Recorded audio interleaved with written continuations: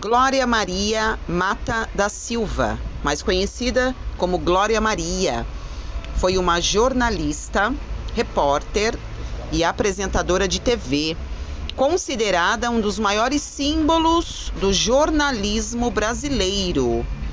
Ela foi a primeira repórter a realizar matérias ao vivo e a cores na televisão no Brasil.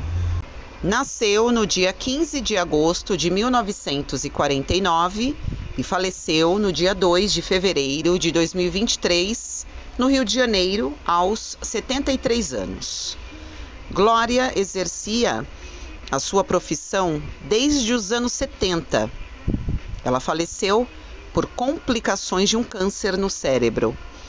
O velório e cremação foram restritos à família e amigos.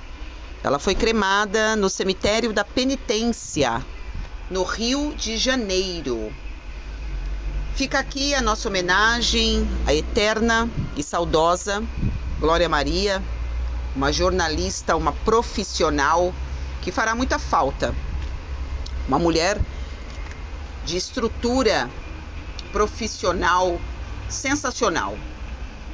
Que ela esteja junto de Deus, de Jesus Cristo e junto de seus antepassados, na luz do Senhor.